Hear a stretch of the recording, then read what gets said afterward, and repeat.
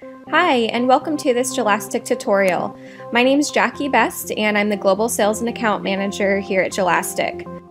In this demo, we'll show you how to connect a MySQL database to a Java application deployed with Jelastic. You will learn how to create a new environment, configure a MySQL database, connect to it from our application, and finally, deploy the application to the cloud. Let's get started. First, log into Jelastic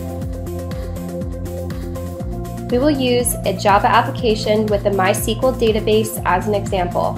The same steps apply to other programming stacks available in Jelastic.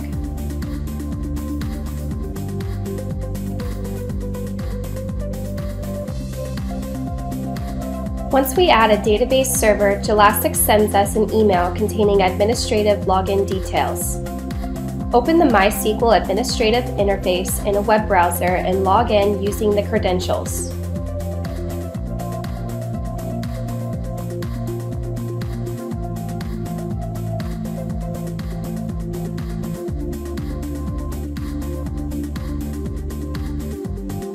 For this example, let's create a new user and database with the same name. Copy the user password to the clipboard. We will use it in our project.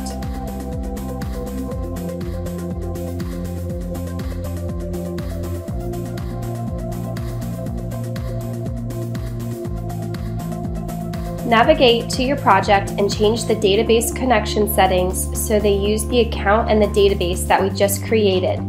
Jelastic provides independent role-based servers for improved security and scalability so your database and application servers are independent virtual servers.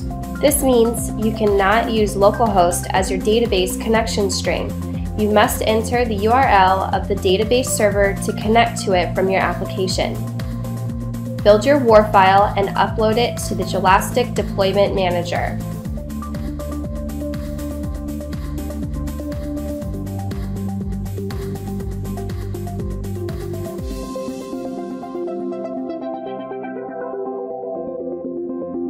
Deploy the application to the environment that you created earlier and check the results.